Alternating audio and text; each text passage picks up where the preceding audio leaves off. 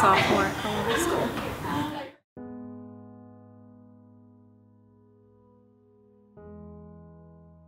We found a Groupon online about four or five years ago.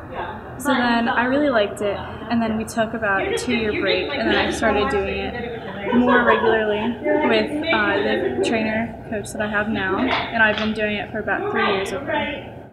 We have a little area blocked off for us, so we all go back there. Um, before that, we do warm ups. If we want to get on our apparatus, then we can.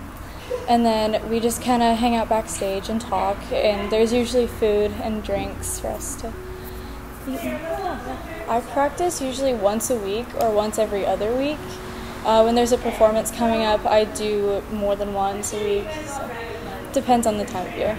I think I've done four or five so far. Um, my favorite one was Say. It was the premise of the show was if you have anything left to say, what would it be? And our so the Silks Three, which is the class I'm in, had our own performance, and it was about domestic violence. So it was really cool because we had people from different um, organizations for that come and watch us perform, so we could spread awareness. I think we'll have one in December. Uh, we usually have two year, once in spring, one in winter. I'm gonna be doing silks. I have a routine like thought out, but I still need to work on everything and putting it together into music. We get to pick our music, our choreography, everything. We just need coach's approval that all the moves are safe. Rigging is really, really important, but um, here we have professional rigging, so it's all safe. Um, I've like hurt a shoulder here and there, but it's nothing bad.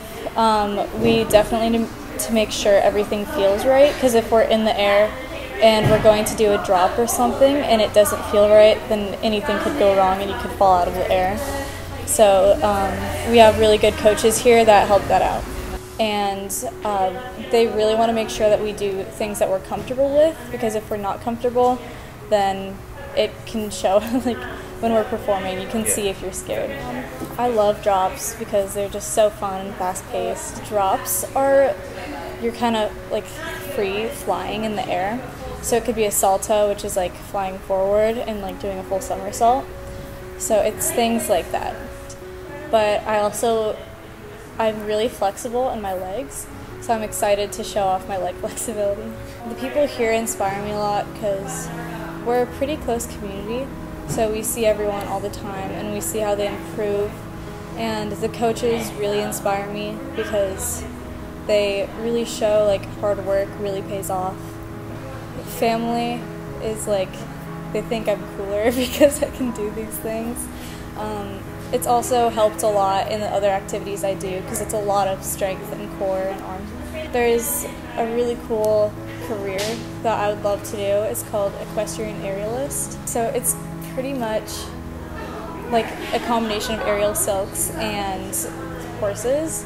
So there are people, the, one of the most common ones is people are riding in a circle and they have the end of your silk and you're like in the silk performing with the horses down below. So I'd really love to do that because I love horses and I love aerial arts, things like that. Strength comes, like I can't achieve it within a few days. I have to really work for it and to not give up on working for what I want.